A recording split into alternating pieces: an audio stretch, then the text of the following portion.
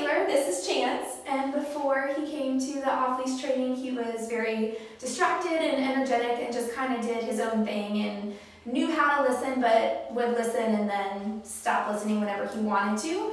And now he seems like he's much more calm. He knows um, different commands that he didn't know before, and he has more control over them. So if you tell him to do something, he will listen to you a lot more and for a longer period of time than he did before. I would highly recommend this training for anybody looking to solidify what they have already taught their dog at home. Hey guys, Josh Wilson with Off Leash Canine Training. I hope you enjoyed another amazing dog put out by my team. Uh, across the country, we don't care about the breed, the size, the age, or the behavioral issue. We're going to make them awesome for you. If you're interested in seeing more videos like the one you just saw, click the image here on the screen. Also, I'd encourage you to check us out on Instagram and Facebook.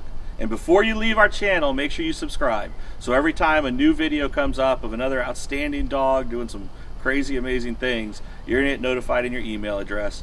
And for more information on other locations we have around the country, check us out at joshwilson.dog. Appreciate you so much for watching our channel. See you soon.